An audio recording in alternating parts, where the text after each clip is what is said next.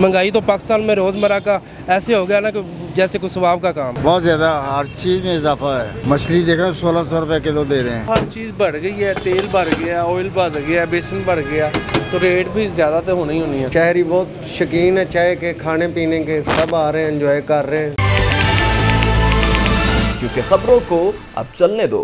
Aslam media 92 के साथ मैं हूँ जिशान अली। जैसा कि आप सबको पता है कि गर्मी ख़त्म हो चुकी है और सर्दी की लहर जो है वो शुरू हो चुकी है। इसके साथ साथ जो है, आपको पता है कि शहरी जो लाहौर शहर के आवाम है, वो खाने की बहुत शौकीन होती है और जो सर्दियों में खाने पीने की अशिया खुरदनोश्त है, वो सर्दी शुरू होने के साथ इनकी कीमतों में इजाफा भी हो जाता है। तो इस साल इनकी कीमतें क्या हैं और पिछले साल की नस्बत इस साल कीमतों में इजाफा हुआ है या नहीं, आइए जानते हैं। मुझे बताएँ कि सर्दियाँ शुरू हो चुकी हैं और सर्दियों में इस्तेमाल होने वाली जितनी भी चीज़ें हैं वो सर्दी शुरू होने के साथ साथ उनकी कीमतों में इजाफा भी हो जाता है। इस बारे में क्या कहेंगे? जी भाईजान ये ज़ाहिर बात है, जैसे माहौल चल रहा है, हर चीज़ की महँगाई हो रही है तो उस लिहाज से हर चीज़ में इजाफा हो रहा है इस वक्त। आप कोई भी चीज़ देख ले, उसमें जो है ना वो हाफ़ से, हाफ़ के करीब करीब इजाफा हो गया।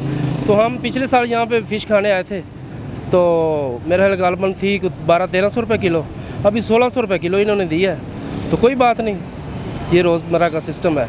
महँगाई तो पाकिस्तान में रोज़मर्रा का ऐसे हो गया ना कि जैसे कोई स्वाब का काम है। हमारे पास एक शहरी भी मौजूद है जो कि लंदन से यहाँ पर सिर्फ़ मछली खाने के लिए आए हैं। उनसे भी बात करेंगे। सामने वालेकुम। अस्सलाम। कहाँ से आए हैं? मैं लंदन से जी। स्पेशल मछली खाने के लिए आए हैं? नहीं शायद अपने काम के लिए मगर अब आ, आ गया इधर मछली खाने बड़ी मशहूर है इधर की।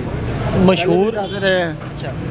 टेस्ट कैसा? है अच्छा है माशाल्लाह ठीक है। अच्छा टेस्ट है। अच्छा मुझे बताएँ कि जैसे जैसे सीज़न आता है सर्दियाँ क्योंकि अब आ चुकी हैं तो सर्दियों में जो अशिया खुर्दनोश है जैसे मछली है आप दूध जलेबी है या कोई ड्राई फ्रूट्स है उनके भी रेट्स में इजाफा हो जाता है? बहुत ज़्यादा बहुत ज़्यादा हर चीज़ में इजाफा है। मछली देख रहे सोलह सौ रुपये किलो दे रहे हैं। फ्रूट लेने जाएँ ड्राई फ्रूट वो बिलियन रोड पे जाए तो इतना महँगा है रेट तो आपको पता हर चीज़ बढ़ गई है तेल बढ़ गया ऑयल बढ़ गया बेसन बढ़ गया तो रेट भी ज़्यादा तो होनी ही होनी है। मछली का डिफरेंट आया है जो पिछले साल रेट था इस दफ़ा बढ़ गया सब पासे बढ़ गया। मटन क्या था? मटन बढ़ गया चिकन बढ़ गया हर चीज़ बढ़ गई। जैसे महँगाई होगी वैसी चीज़ें बढ़ती हैं।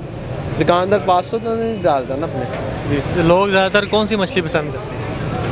हमारा बड़ों का काम है उन्नीस सौ पैंतीस का। हमारे पास रो मछली होती है बेसन वाली होती है तो ज़्यादा लाहौरी आपको पता जैसे जैसे जैकेट वगैरह निकल आए, रजाइयाँ वगैरह बाहर निकल आए तो वैसे मछली वगैरह खाने को मुफीद होती है।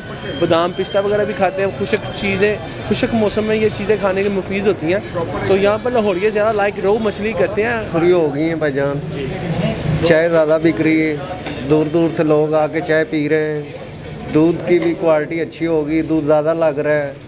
लाहौर के शहरी बहुत शौकीन है चाय के खाने पीने के सब आ रहे हैं एंजॉय कर रहे हैं।